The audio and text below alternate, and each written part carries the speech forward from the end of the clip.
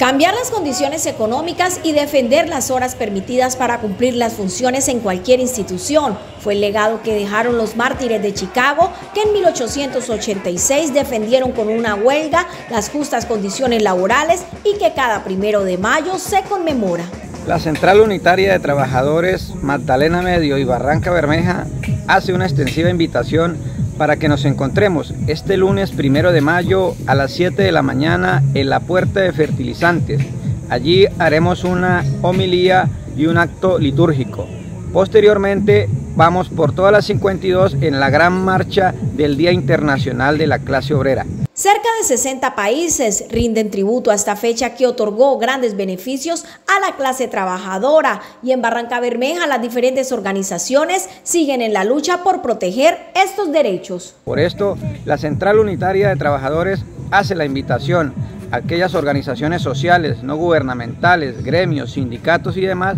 para que acudamos a conmemorar este primero de mayo, el Día Internacional de la Clase Trabajadora, donde estaremos llegando al, frente del edificio de la Unión Sindical Obrera y allí haremos el acto central, la lectura de nuestro gran documento del Día del Trabajador y luego y posteriormente disfrutaremos y compartiremos